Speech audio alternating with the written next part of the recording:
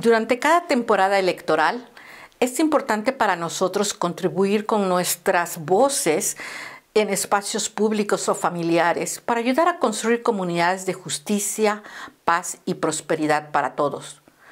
Como líderes religiosos en nuestras comunidades locales, creemos que esto debe hacerse de manera que respete la dignidad de nuestros vecinos y conciudadanos. Esto se extiende a personas con las que no estamos de acuerdo cuando se trata de política, principios y creencias. Al defender nuestras convicciones debemos estar preparados para escuchar, tratar de comprender, presumir las mejores intenciones y observar la civilidad. En nuestros debates y diálogos, el respeto por la humanidad cuenta. El primer paso para construir una comunidad de justicia es que nos amemos los unos a los otros y siempre tratándonos con respeto.